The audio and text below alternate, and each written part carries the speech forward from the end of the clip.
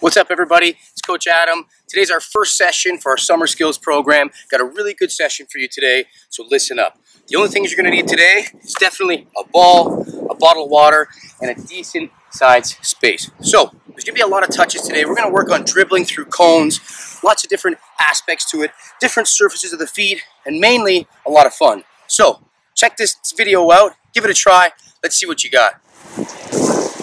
Okay, so before you get started and get going with these exercises, let's talk a little bit about techniques and what you have to be when you're dribbling. So first off, we all need to know the touch step dribble. Using the outside three toes of either our dominant foot or our weaker foot, we're gonna make sure that every step that we take has a touch step to it. That's key. So that's the first thing. The second thing is we're gonna make sure that your back is bent. Really bent. I always say to soccer players and I say to athletes, soccer is played about an inch or two shorter than you actually are. And what I mean by that is your knees are bent, you're ready in athletic position all the time to change direction or to take on a defender. Good? So, first step, touch step dribble. Second step, knees bent. Third, you have to use improvisation. So not everything's perfect. Soccer's not perfect. You're not perfect. But in order to be the best you can, you have to be able to change on the fly, change direction on the fly. If mistakes happen, you have to be able to use some other side or different part of the feet. So always use improvisation, use your imagination, and mainly, let's just have some fun. Okay, so first off, you're gonna need to put some cones out. I've created this area and this way to put your cones because I think it's really important. I think it relates directly to the game. So have a look, listen to the voiceover. It'll help you better to put the cones down.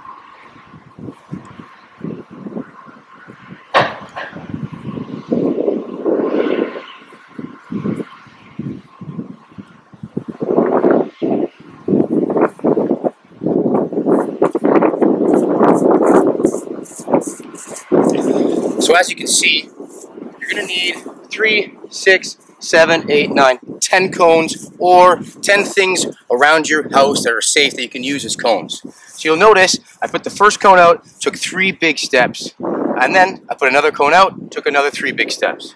You'll then notice I took five large steps. Now, it can be large steps based on whoever you are, because this is always a session based on yourself. Now, five large steps, then you're gonna have four cones in the middle, each with one big step in between.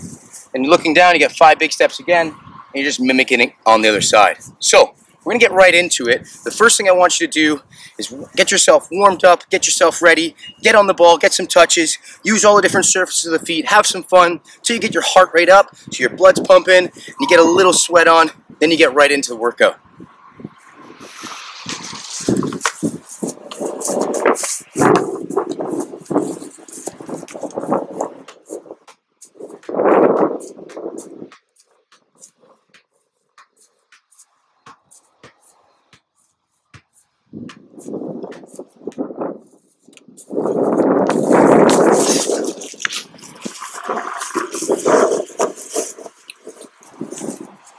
All right, so my cones are set up. You've already got yourself dribbling on the ball, getting the surface of the feet, and getting yourself warm. Now, we're gonna get into a little bit of movement. So I want you to check out what I'm doing now on the cones, and I'll be able to explain it a little further. So the first step is without a ball. Just a nice light jog, changing direction, and making sure that you're always getting into different angles of your knees and your hips.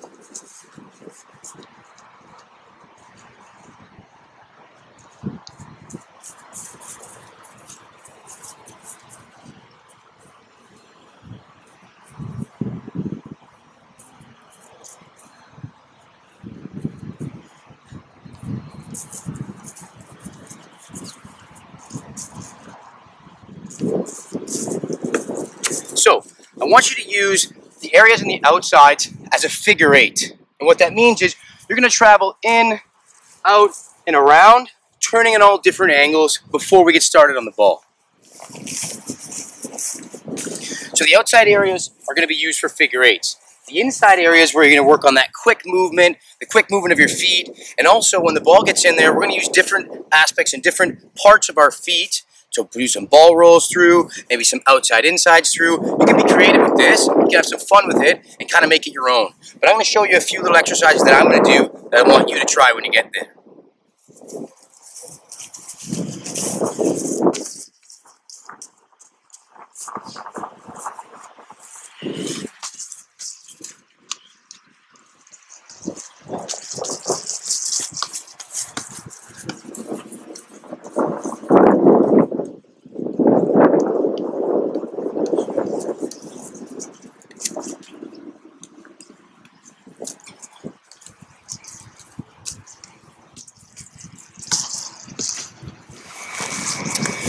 All right, so you've used the figure eights and the inside middle cones, back to a figure eight, then sprinting right through. You can always do this at your own pace. I suggest starting off slowly and going quicker and quicker every time.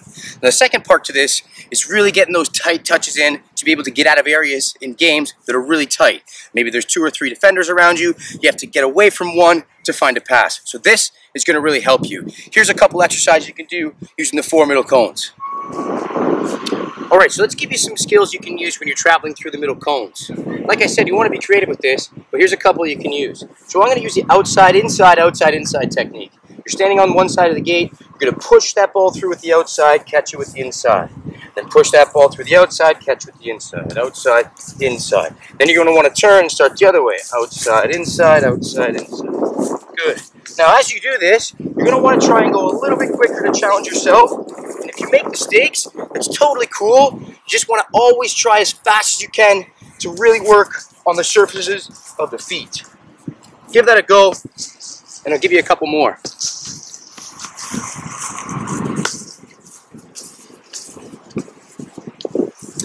Okay, so we've done the outside, inside. Now, let's get to the bottom of our foot, the sole part of our foot. Really important part of the foot to use to get yourself out of trouble. But through these gates, you're going to want to use the outside foot that's furthest away from cones to roll that ball across your body and stop it with the other foot. Then you're going to roll across your body again and stop, roll, stop. Turning yourself around, go a little slower, then try and pick up the pace. Good. Every time, really focusing on the technique and keeping control of that ball and working on all the different surfaces of the feet.